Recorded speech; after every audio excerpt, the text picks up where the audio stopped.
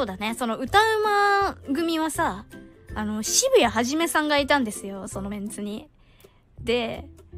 えっとね、み、みんなが書けるホワイトボードみたいなところがあって、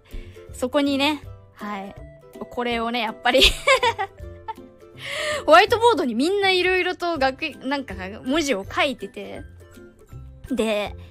楓ちゃんと私一緒にいて、で、楓ちゃんとなんか書こうみたいになって、何書くってなって、あいあい傘書いちゃおうって言って、私がはじめみとって書いたら、楓ちゃんがキャーっ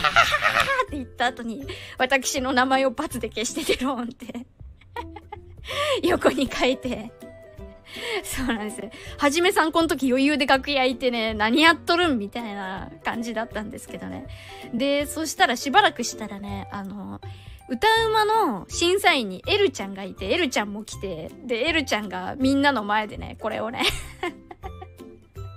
書いて、で、これエルちゃんが、あの、ホワイトボードって前、超前、みんなの見えるところにあって、エルちゃんがこれを書くときになぜか、セレーネ女学院とか他の歌うまのメンツから、おーみたいな